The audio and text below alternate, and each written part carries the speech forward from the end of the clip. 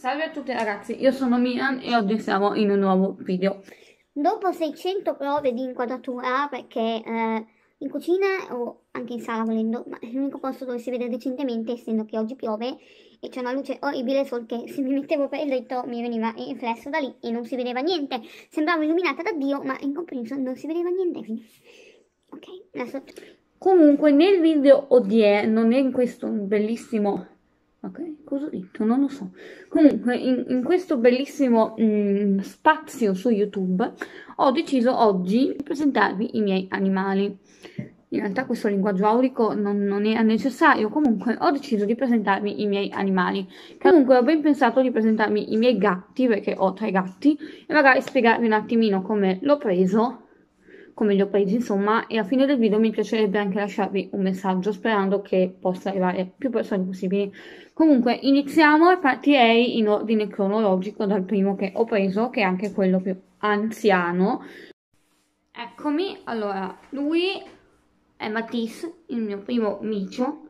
l'avrete sicuramente visto nella fine del video del home tour comunque nel caso ve lo lascio qui sopra da qualche parte. Lui è il mio primo gatto e l'abbiamo preso ormai nel lontanissimo 2012, dopo che ci fu il terremoto qua in Emilia, abbiamo deciso di prenderlo perché c'erano dei gatti terremotati che cercavano famiglia e in un EMPA, che sarebbe un ente di protezione animali, un ente nazionale di protezione animali, e abbiamo deciso insomma di prenderlo da lì perché non so se lo sapete e non so se l'ho mai detto qua su YouTube ma penso di no io ho sempre avuto dei gatti in campagna, però noi abbiamo deciso di prendere questo bellissimo micione, questo micione e appunto all'Empa perché c'erano questi gatti che cercavano famiglia e quindi appena l'abbiamo visto ci siamo subito innamorati. L'ha scelto mia sorella e l'abbiamo chiamato Matisse perché appunto viene dagli Aristogatti, di cui siamo molto fan, sia io che lei. Lui è un gatto molto tranquillo, molto molto tranquillo, dorme e mangia in continuazione, però è anche un gatto che brontola tantissimo, cioè lui, ecco lo sentite anche adesso vuole scendere, infatti tra poco lo metto giù, arrivo, fatti vedere, è un gatto che brontola e piange tantissimo, è molto affezionato a noi, soprattutto a me e mia mamma, ma anche a mio papà perché mio papà è quello che gli dà da mangiare la mattina e lui è molto abitudinario come gatto. Ogni tanto fa i dispetti, eh, perché dovete sapere che adesso ne è, arrivato un terzo gatto che era, insomma, dopo, dopo vi spiego meglio la sua storia, comunque è arrivato un terzo gatto e lui è un po' dispettoso, però... È il mio preferito, io lo dico sempre, lui è il mio preferito. Io gli voglio un sacco bene, perché lui appunto è un gatto molto mite, però è anche molto molto molto geloso e quando gli vengono toccate le sue cose, insomma, diventa un po' dispettoso, però gli vogliamo bene e quindi niente. Siccome vuole scendere, vado a prendervi il prossimo gatto.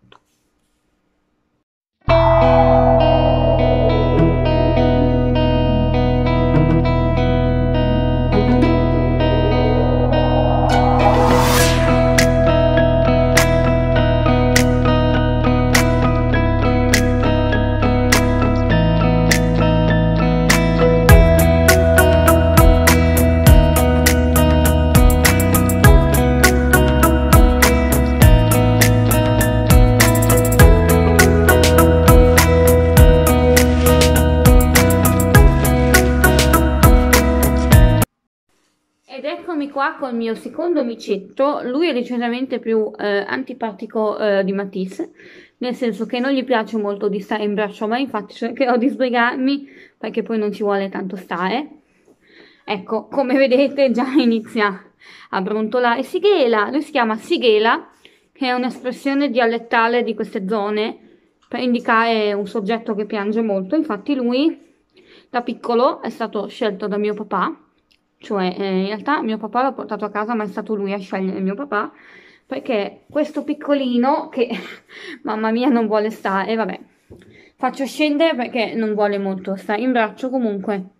Sighela è stato abbandonato dalla sua mamma e faceva parte dei nostri gatti che appunto avevamo in campagna, è stato abbandonato dalla sua mamma e siccome non volevamo che morisse perché, eh, insomma,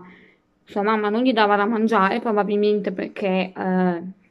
aveva riconosciuto, diciamo, che è un gatto che aveva poi dei problemi e l'aveva scartato e quindi l'abbiamo portato a casa e adesso è con noi da ehm, quasi otto anni. Abbiamo scoperto dopo più o meno un annetto e mezzo che purtroppo Sigela ha le crisi epilettiche, quindi ogni tanto, non sempre, gli vengono queste crisi e abbiamo comunque deciso di insomma, tenerlo con noi anche perché era già con noi da tanto, ci siamo affezionati tantissimo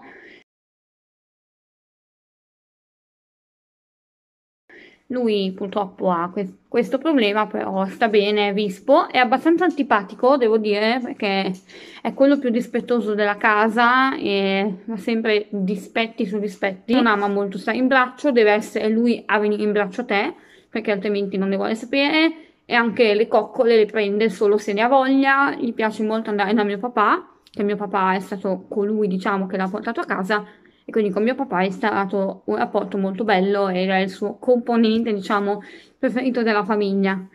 Lui ha le sue cose e le sue cose sono solo sue, non, non bisogna toccarle, non bisogna... nessun altro gatto ci deve andare dentro perché lui è molto molto territoriale, nel senso che è fatto così,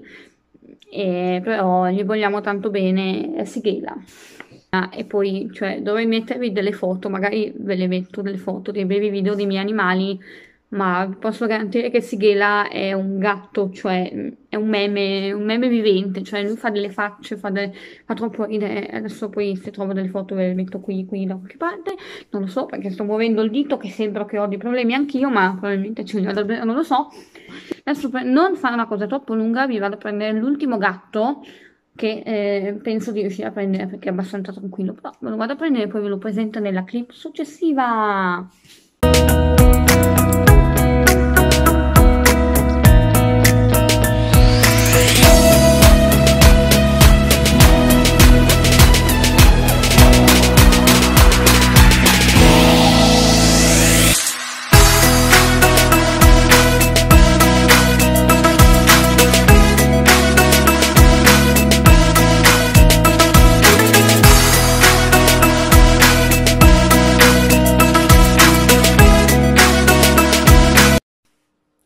Qua con il mio terzo e ultimo gatto, lui è completamente diverso, mentre gli altri erano grigi tigati e bianchi, lui è completamente rosso, con anche gli occhi dello stesso colore. Lui si chiama Romeo, nome sempre preso dagli Aristogatti. Lui diciamo che ha una storia un po' più particolare. Praticamente presi, insomma, Matisse e Sighela, noi non dovevamo più prendere gatti, perché comunque eh, due sono già impegnativi,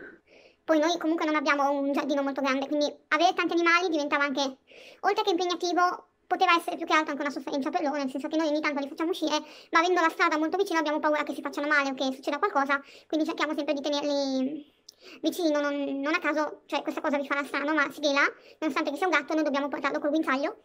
nel cortile perché lui se no scappa e abbiamo paura sempre che, che non torni, insomma. Eh, in realtà è stato lui che ha scelto di venire a casa con noi nel senso che quando c'era mio nonno che andava a dare da mangiare ai suoi gatti in campagna, che appunto lui aveva una casa sua con i suoi gatti, andava, gli, andava a dare da mangiare. Allora un giorno lui è tornato a casa, abbiamo iniziato a sentire piangere, qualcosa che, mm, che, piangeva, mia mamma era convinta che ci fosse un gatto dentro la macchina, mio nonno diceva di no e una volta insomma tornati che lui tornava la da, da mangiare ai gatti abbiamo scoperto che questo patatino è infilato dentro al motore della macchina e si è incassato e quindi eh, era rimasto lì perché voleva provare di, di venire a casa insomma quando l'abbiamo preso fuori era tutto storto era messo veramente male Così ho pregato mia mamma di portarlo a casa perché sarebbe morto e siccome me, ne ero innamorata, perché era veramente piccolo, era tutto, tutto malmesso, io volevo provare a salvarlo. Allora, l'abbiamo portato a casa, solo che anche mia mamma giustamente non sapeva se ce l'avrebbe fatta perché era veramente messo male. Solo che i miei due non lo volevano, hanno iniziato a soffiare, a picchiarlo, non, non c'era verso. Allora abbiamo provato di portarlo da mio nonno. All'inizio mio nonno era un po' titubante, poi con, diciamo, i miei metodi di convin- convincimento, non so se l'abbiamo convinto e l'abbiamo tenuto. L'abbiamo portato dal veterinario, che anche lui ci ha detto che non sapeva se sarebbe sopravvissuto e invece è qui con noi da quasi sette anni.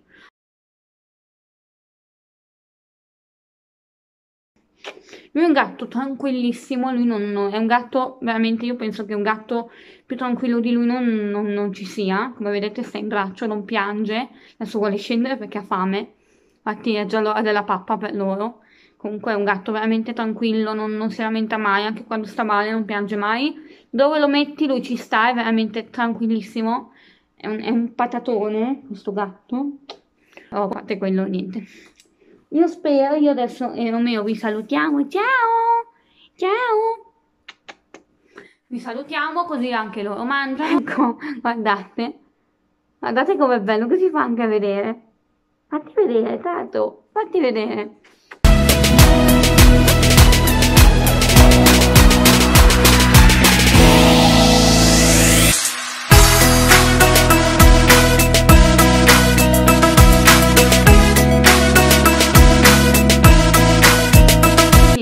Voglio bene, vi mando un bacione, spero che questo video vi sia piaciuto, commentate, scrivete se avete un animale e se, se voleste prendere uno. Ah, è importantissimo, avevo detto che vi avrei lasciato un messaggio a fine video, poi mi sono un po' dimenticata, ma cioè che ho anche qui di non essere troppo breve, mi raccomando, prendete, cioè di non essere troppo breve nel senso di non essere troppo lunga, cioè, vabbè, dicevo Mm, prendete un animale solo se sapete di avere le possibilità, perché l'animale comunque, che sia un gatto, che sia un cane, che sia un criceto, che sia un qualsiasi animale, ogni animale ha i suoi fabbisogni, ogni animale ha bisogno dei suoi spazi, ha bisogno ehm, dei suoi tempi per abituarsi, ha bisogno anche di eh, magari di giardini in sicurezza, di balconi in sicurezza, di, di, un posto anche dove stare, se non avete il posto e se sapete di non eh, poterlo prendere, non prendetelo perché poi si rischia di doverlo abbandonare ed è sbagliato. E soprattutto non abbandonate mai gli animali, un po' perché comunque è sbagliato in qualsiasi senso e poi perché gli animali sono di grande compagnia e cambiano con tutto l'amore che possono che possono darvi sono veramente una compagnia infinita cioè, e se lo facessero a voi penso che non, non vi farebbe piacere e se, se scoprite magari venite a sapere che un animale ha un problema di salute che magari diventa un po' più costoso eh, non c'è problema si fa quel che si può, però ovviamente si cerca sempre di dare affetto e amore all'animale incondizionatamente, anche se l'animale ha dei problemi, anche se l'animale non è esteticamente perfetto, perché ripeto che nessuno è perfetto, gli animali sono belli, tutti quanti, dal primo all'ultimo, e quindi se prendete un cane, un gatto, un criceto, un, un cavallo, quello che vi pare, cercate sempre di dargli amore e affetto, di capire quali sono i suoi fabbisogni, cercare di, cioè, di soddisfarli, ecco, non mi veniva il termine, quindi niente. Spero che questo messaggio sia stato capito. Nel caso ne possiamo discutere nei commenti e io vi voglio bene. Appunto, lasciate un like, iscrivetevi al canale, lasciate un like, lasciate un commento, lasciate quello che vi pare. E siccome non so più che cosa dire, vi lascio liberi di fare quello che vi pare. Quindi niente, ciao!